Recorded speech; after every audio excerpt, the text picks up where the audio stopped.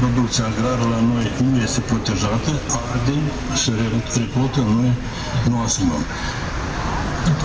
Vă rog, explicați aceste chestii.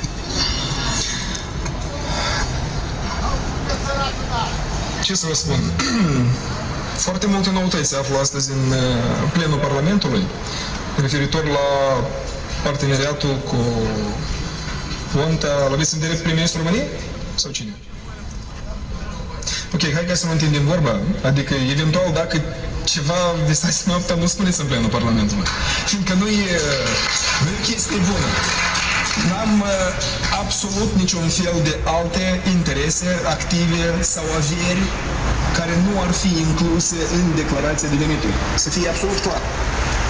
Nimic. Tot ce este până la ultimul bănuț, am o singură companie care am fondat-o și la care țin foarte mult, care nu administrez din august 2009, din momentul când mi-a fost validat mandatul de deputat, dar a cărui fondator rămân și, mă rog, mersi pentru publicitatea care mi-o faceți.